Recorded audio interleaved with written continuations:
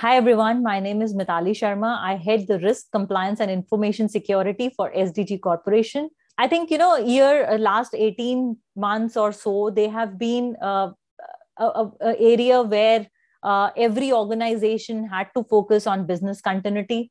Uh, with the pandemic, uh, be, I mean, with all the pandemic that came into picture, uh, the pandemic struck us. it was very important that all of us start working from an from a on-prem location to a remote working. And this transition meant that every organization needed to have a proper business continuity plan in place.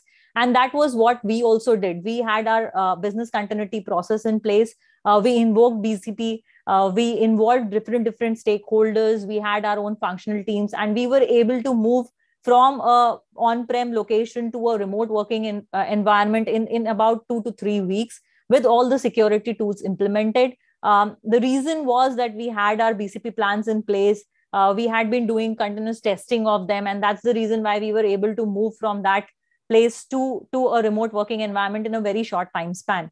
Um, so while we did that, I think one of the key things that came into picture was that our customers uh, were very happy the way we took BCP and the way we were strengthening our, our technologies, our security posture uh, they were very happy with that. And as a result we started getting engagements. Customers started asking us to come and you know uh, start taking care of their securities their compliances. And that's how we transformed from just an investment to a more uh, organization which was a billable organization. So my practice became more of a billable uh, engagement. And we we started doing a lot of customer engagements. We started doing compliance compliance as a service for a lot of customers and that's uh, that's where our business model changed. So uh, we took care of our own own compliances as well as compliances for the customers.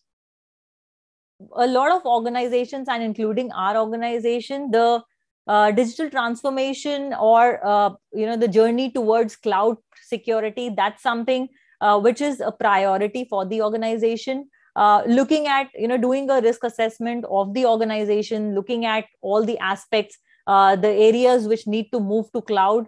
Uh, we are looking at uh, transforming a lot of things onto the cloud. we we are already on cloud, but then I think that is something which has accelerated, something which was planned in in say one year or so. Uh, that that time span has reduced and that uh, that journey has accelerated and uh, for us the focus would be more towards moving a lot of things on cloud ensuring that it is secure so cloud security and then you know uh, looking at other areas such as uh, uh, automating our cybersecurity posture automating our cybersecurity operations. Ransomware attacks have been uh, there. They have accelerated. They have increased over the last couple of years. You would see a lot of data breaches there happening. So i think uh, uh, as an industry i feel one organizations need to look at the data security aspect. We need to ensure that uh, you know the data that we are carrying what is the data that we have? What is its confidentiality? Uh, what is its classification? How are we securing that data? Uh, one that would be important. Second uh, ensuring that your employees are trained. Employees know what to do uh, in case they are uh, they are hacked or in case their systems are compromised they should be the custodians of information security. So continuous and rigorous training of employees uh, doing mock drills with them uh, doing phishing simulations with them i think that will be critical. Uh, ensuring that your business continuity plans your incident response plans they are up to date uh, they are tested in a timely manner. Uh, you're making sure that you're updating it based on the changing threat landscape of your environment uh, having security tools and right implementations in place uh, sometimes you know people implement security tools but then uh, the configurations are not correct. They do they have not defined rule sets. So i think it will be very important to ensure that you have risk based assessment and risk based uh, mitigation controls in place which would be in the form of security tools tools processes people. Uh, having that right skill set in place uh, and ensuring that you know you have a cyber resilience plan in place. So you you know that uh, you will be compromised in in some time or you are already compromised and you don't know about it. These are the two things that can happen. So uh, primarily you should have uh, plans in place to ensure that if something happens what will be my contingency plan and how do i keep come back uh, to to normal state and be resilient.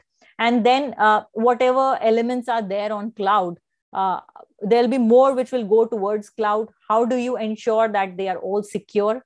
Uh, apart from this uh, ai ml and technologies like uh, you know automating your cybersecurity operations that would be something which will definitely be in in thing or the top priorities in the next in the coming few years. For more updates from cxo tv please like and subscribe to our channel